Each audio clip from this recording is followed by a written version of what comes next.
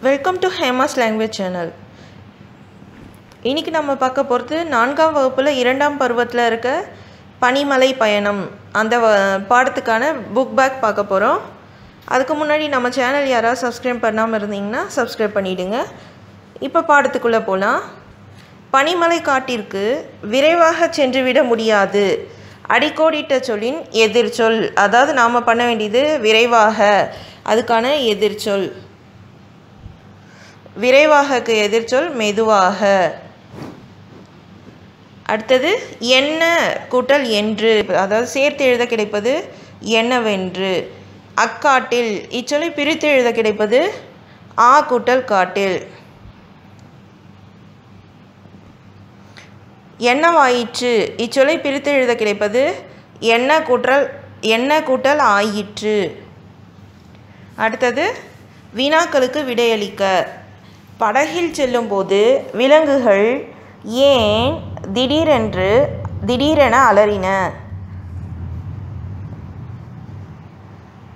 படகில் செல்லும்போது விலங்குகள் அதாவது விலங்குகள் முதல்ல எழுதிடணும். படகில் செல்லும்போது ரெண்டாவது எழுதிடணும். அடுத்தது திடீரென்று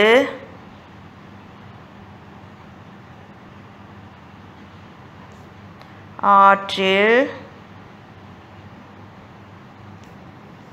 நீரின் வேகம் அதிகரித்தது.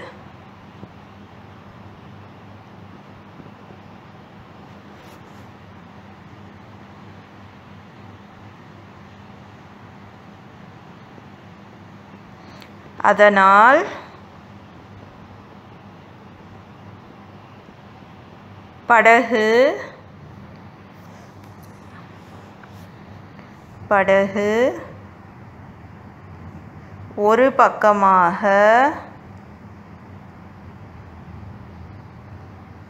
சாய்ந்ததனால்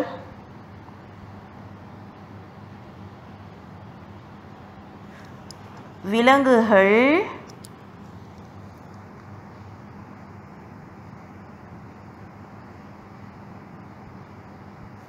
திடீரென அலறின. அதாவது விலங்குகள் படகில் செல்லும்போது திடீரென்று ஆற்றில் நீரின் வேகம் அதிகரித்தது. அதனால் படகு ஒரு பக்கமாக சாய்ந்ததனால் விலங்குகள் திடீரென்று அலறின. திடீரென்று அலறின. இல்லை திடீரென அலறின அப்படியும் போடலாம். அடுத்து ரெண்டாவது கொஷின் நரி முதலையிடம் என்ன கூறியது? இந்த லெசனில் எல்லா கொஷின்ஸும் பெருசு பெருசாக இருக்கும். இதற்கு முன் ரெண்டாவது கொஷினுக்கான ஆன்சர் இதற்கு முன் ஒரு முதலை விலங்குகளை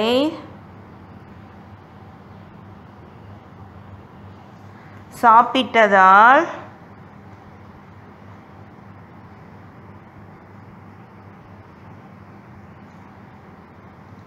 சாப்பிட்டதால் செரிமானமாகாமல் இறந்துவிட்டது.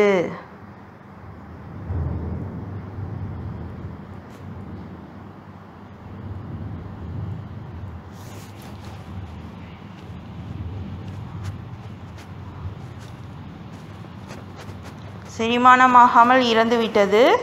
விஷ முற முறிவு செடிகளை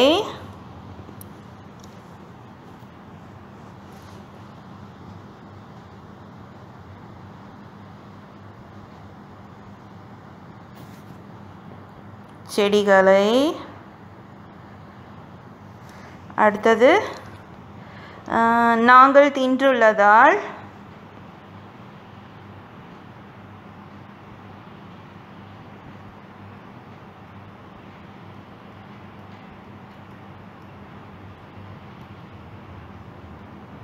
எங்களை யார் கடித்தாலும்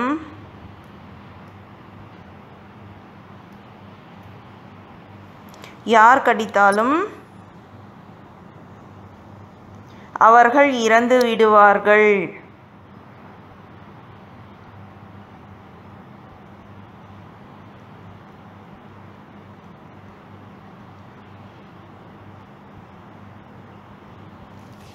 அப்படின்னு சொல்லுச்சு. அடுத்த கொஷினுக்கு போகலாம்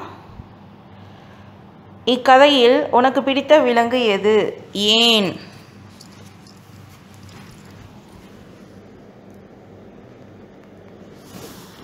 எனக்கு பிடித்த விலங்கு?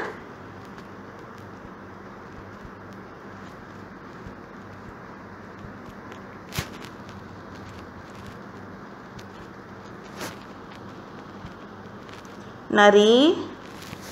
நரி தன் தந்திரத்தால்.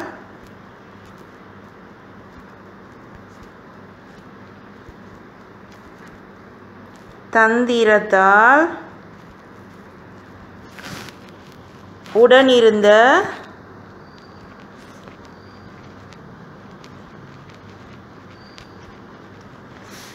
அனைத்து விலங்குகளையும் காப்பாற்றியது.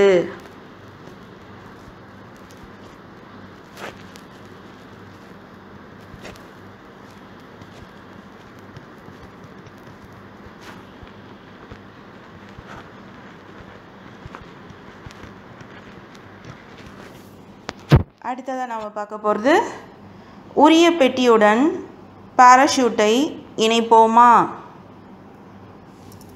அதில் ஃபஸ்ட்டு திடீரென்று அப்படின்னா சற்றும் எதிர்பாராமல். அடுத்து ஏமாற்றுதல் தந்திரம் கூச்சலிடுதல் அலறுதல் பாதுகாத்தல் பேணுதல். அடுத்ததாக நாம் பார்க்க போகிறது விடுபட்ட இடங்களில் உள்ள சொற்களை நிரப்பி புதிய சொற்றொடர்கள் உருவாக்குக. டேஷ் நண்பன் ஈக்குவல்ஸ் நல்ல நண்பன் இருக்குது அப்போ இந்த இடத்துல நல்ல வந்திருக்கணும். அடுத்து டேஷ் தூரம் நீண்ட தூரம்.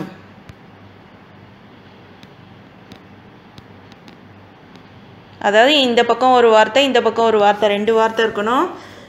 பிரித்தாலும் பொருள் தரணும். அடுத்து புள்ளிமான். புள்ளி மானம் சேர்த்தோன்னா புள்ளிமான்.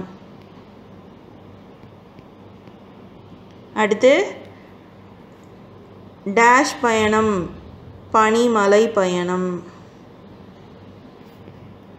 இங்கே பனிமலை பயணம் எடுத்து எழுதினோம் அடுத்து டேஷ் காடு அடர்ந்த காடு இங்கே அடர்ந்த காடு அப்படியே எழுதிடணும்.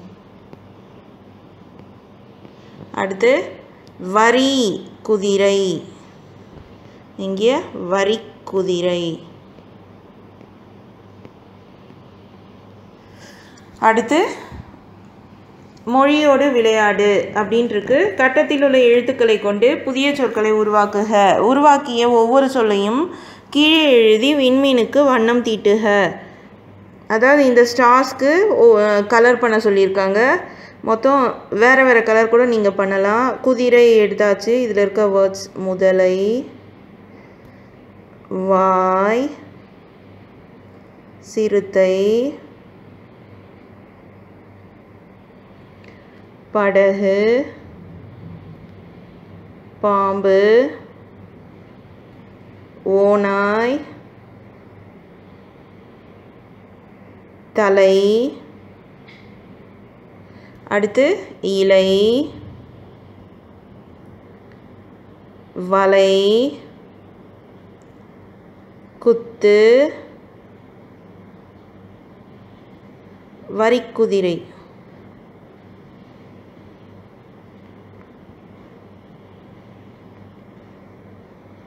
இப்போ நான் பெற்ற மொத்த விண்மீன்கள் மொத்தம் எத்தனை விண்மீன்கள் நம்மளுக்கு வருது அப்படின்ட்டு எழுத சொல்கிறாங்க இங்கே நான் பன்னிரெண்டு அப்படின்னு எழுதுறேன். நான் பன்னிரெண்டு வந்திருக்கு? அடுத்தது சொல்ல கேட்டு எழுதுக. அடர்ந்த காடு பயணம் பனிமலை காடு விலங்குகள் திருவிழா. அடுத்தது